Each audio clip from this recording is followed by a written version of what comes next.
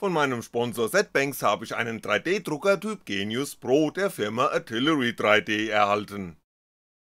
Das maximale Druckvolumen beträgt 22x22x25cm, das Gerät selbst hat die Abmessungen 43x39x59cm. Der Genius Pro ist die kleinere Version des Sidewinder X2 der gleichen Firma, den ich bereits getestet habe. Wer also weniger Platz auf seiner Werkbank hat oder etwas Geld sparen möchte, greift zum Genius Pro.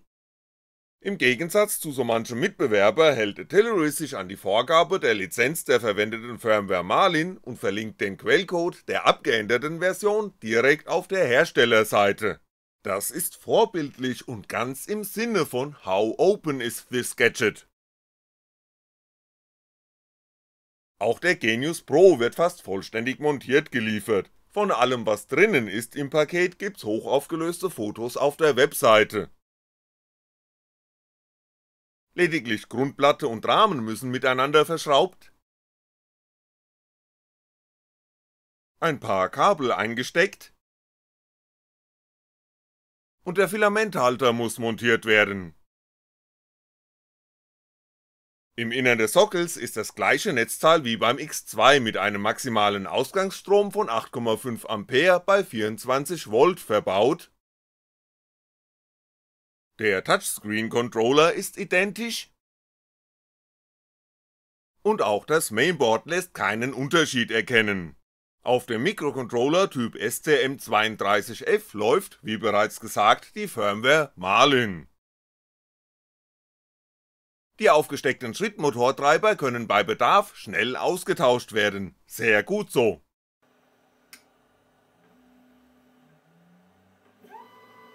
Über Flachbandkabel ist die Elektrik der Achsen sehr sauber mit dem Mainboard verbunden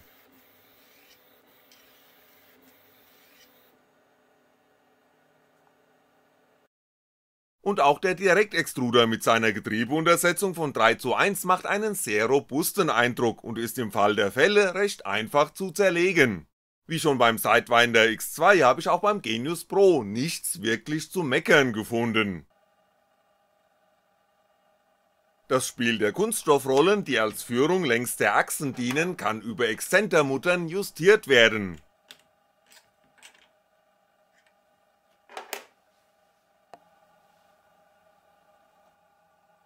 Die Riemenspannung der X- und Y-Achse wird durch Verschieben der Umlenkrollen eingestellt. Beides lässt sich bequem erledigen, womit der Genius Pro sehr schnell einsatzbereit ist. Alle Achsen laufen schön geschmeidig, die Mechanik ist sehr robust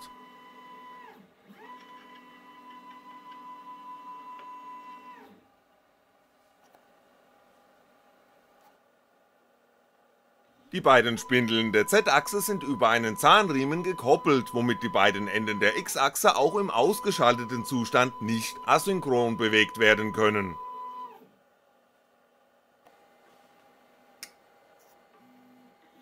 Die Mechanik des Druckers muss somit eher selten justiert werden, was allerdings recht einfach gelingt.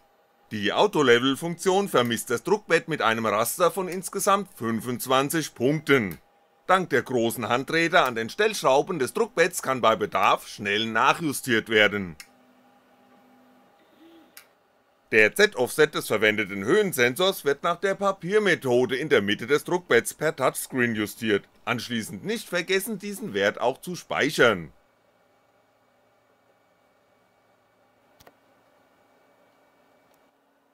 Das mit 230V Netzspannung betriebene, sehr leistungsstarke Druckbett heizt auf 100°C in nur 3 Minuten und erreicht 130°C nach 6 Minuten, was der erzielbaren Maximaltemperatur entspricht, die Umgebungstemperatur in meinem Videostudio betrug zum Zeitpunkt der Messung etwa 24°C Der Touchscreen spricht gut auf Eingaben an und somit ist ein erster Druckauftrag von MicroSD-Karte oder wie hier von dem beiliegenden USB-Stick schnell gestartet. Der erste Test besteht in der Prüfung der automatischen Level-Funktion. Gedruckt werden 16 über das Druckbett verteilte Scheiben mit einem Durchmesser von je 50mm. Die Schichthöhe beträgt 0,2mm, die Druckgeschwindigkeit ist auf 15mm pro Sekunde gesetzt.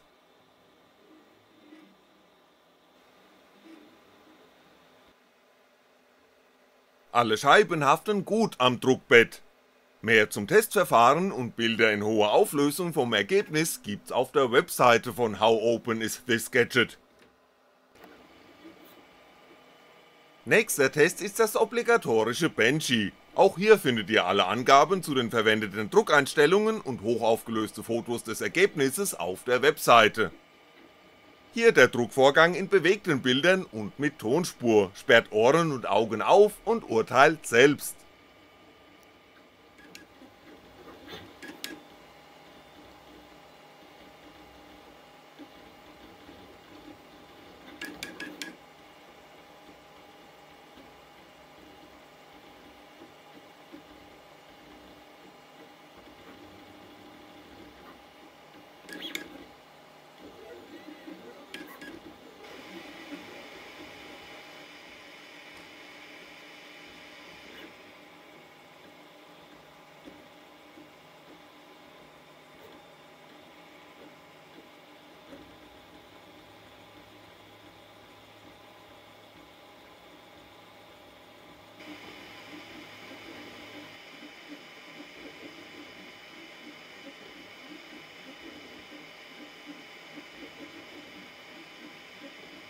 Nach etwa 90 Minuten ist das 3D-Benchy mit einer Druckgeschwindigkeit von 30mm pro Sekunde fertig. Beim nun folgenden Benchy Geschwindigkeitstest geht's nicht darum, gut aussehende Ergebnisse zu erzielen, damit sollen lediglich die Schwachpunkte, die jeder 3D-Drucker hat, deutlich gemacht werden Worauf es hierbei ankommt, ist ebenfalls auf der Webseite von How Open is this Gadget nachzulesen, in diesem Video gilt es wieder Augen und Ohren aufzusperren. Das zweite Benchy wird mit 60mm pro Sekunde gedruckt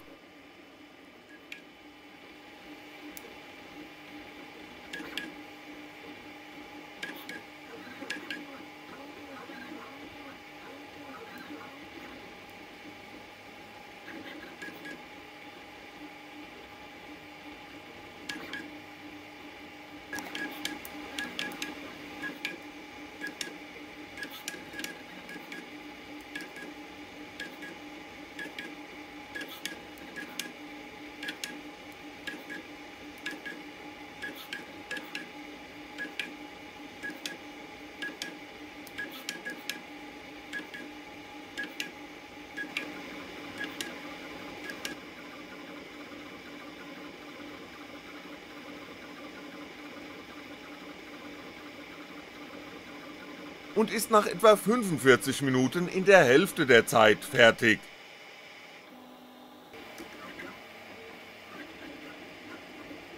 Das dritte Benchy wird mit 90mm pro Sekunde gedruckt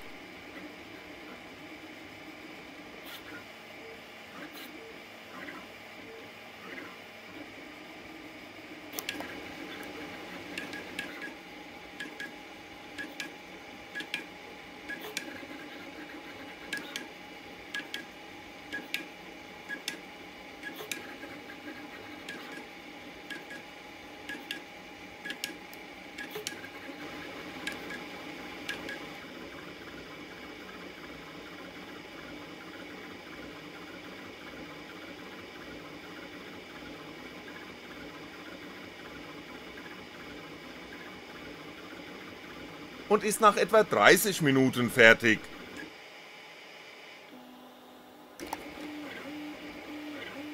Benchy Nummer 4 wird mit 120mm pro Sekunde und noch höheren Beschleunigungswerten gedruckt, was definitiv außerhalb der vom Hersteller empfohlenen Werte liegt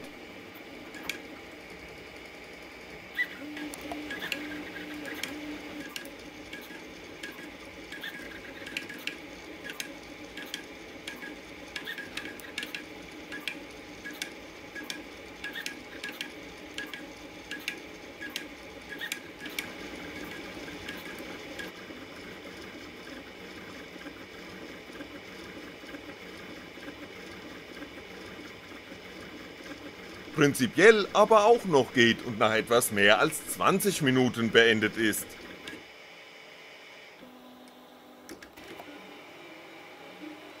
Um große Objekte schnell zu drucken, muss möglichst viel Kunststoff pro Zeiteinheit extrudiert werden, was hier getestet wird.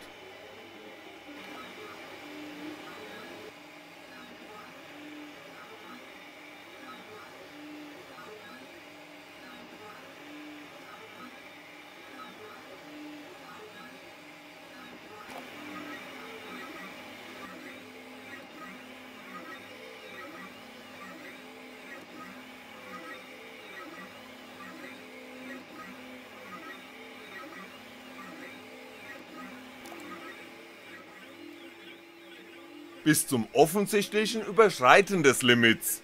Erneut gilt, die Webseite von How Open is This Gadget liefert alle Zahlen und Hintergrundinfos zum Testverfahren, sowie hochaufgelöste Fotos der Ergebnisse. Mit dem noch für gut befundenen maximalen Materialdurchsatz wird als letzter Test ein möglichst großes 3D-Benchy angefertigt, dieses sollte möglichst schnell gedruckt werden und dabei auch gut aussehen.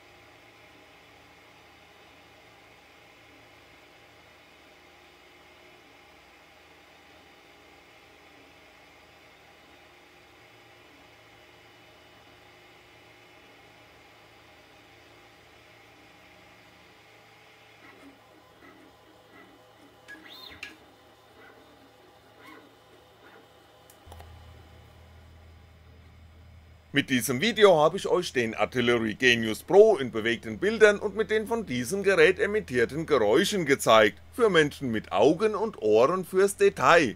Wie offen der Genius Pro ist, alle Angaben zu den Testverfahren sowie Bilder in hoher Auflösung von dem Gerät, dessen Innenleben und von den erzielten Testdrucken findet ihr auf der Webseite von How Open is This Gadget.